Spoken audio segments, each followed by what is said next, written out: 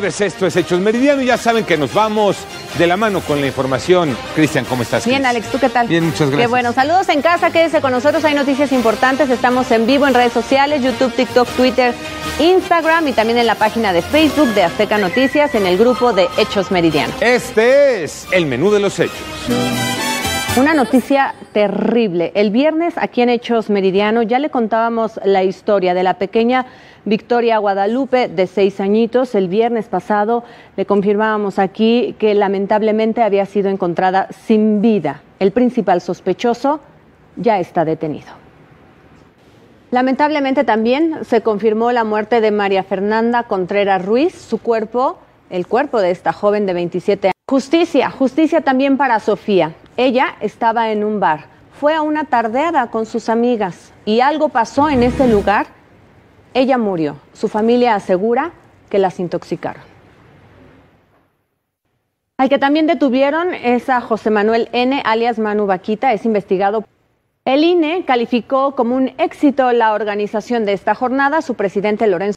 Por cierto, para aumentar la participación de los mexicanos en los procesos electorales, el presidente López Obrador planteó que en futuras elecciones se utilice el voto electrónico. Fue una granizada que duró 30 minutos, afectó a 15 comunidades.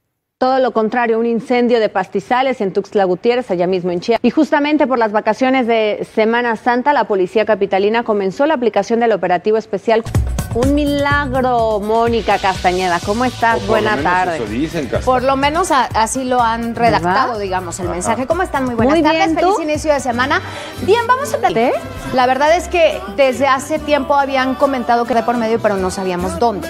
Entonces, pues ahora es lo que comparte la señora Cristi. Aunque lo importante también es que aquí sí hay El antes tamaño, y el ¿no? después, ¿no? Y el tratamiento que ella te- eh, tendrá eh, en los Tito. Tenemos información que también ha dado mucho que hablar. Tuvimos boda el- y también de Pepe Aguilar y la familia Aguilar, que esa es la que más me tiene sorprendida. Ok.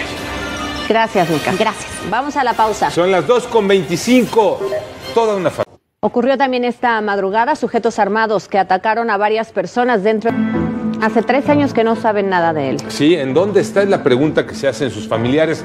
De hecho, Ricardo, no sé si entendí bien, pero con este joven. Muy difícil y por supuesto que nos unimos a este llamado que hace doña Violeta de que si alguien ha visto a Osvaldo, si alguien sabe dónde está, si alguien tiene alguna pista, pues que hable, que se comunique porque la, la está pasando muy mal doña No, bueno, Violeta. dice es que ella, qué ¿no? cosa tan impresionante. lo dice, lo dice Violeta.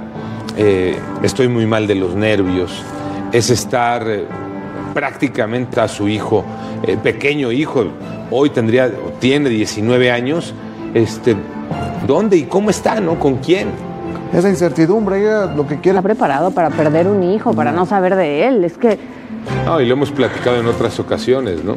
Eh, hasta en, en- en esto de las muy malas noticias, hasta dónde el tener la confirmación de algo o hasta en dónde vivir con esa incertidumbre, ¿no? ¿Qué, De acuerdo. qué como familiar o como papá? Fue una explosión en tres alcantarillas de las calles de Nueva York. Las mujeres ucranianas han sido las primeras en responder a las necesidades urgentes de su comunidad y son ejemplo de solidaridad. Vamos a la pausa. Son 20 para las 3, prácticamente. Mónica Castañeda. ¿Cómo están? Buenas tardes, Bien, buenas Casta. noches en París, en la Ciudad de la Luz, donde se encuentra la familia Aguilar, porque literalmente han puesto tierra de por medio a todo lo que ha ocurrido desde el viernes pasado y durante el fin de semana en torno a Ángela Aguilar y la relación. De esas fotografías tendría que haber una denuncia y castigo Ojalá para esta ojalá, persona, sí, porque sí, sí. no la si no cosa se menor. queda en la La oficina queda de Pepe Aguilar medios. asegura que las fotos son falsas. Hay, hay autoridad que ampara que no se difundan Oye, esas espérame, fotos. incluso si son fotografías Claro. así, hay una consecuencia legal. Ya hoy esto está muy... este, Muy regulado. Sí, como para dejar pasar una situación Estoy de acuerdo tan contigo. delicada, ¿no? Eh, eh, En, en, eh, Es decir, esto de pasarnos todo por el arco del Vida, retomando la rienda. y que vaya todo bien. Pues si no, yo me quedo con lo de Jenny. ¿20 o cuántos años después? Veinte. La misma historia.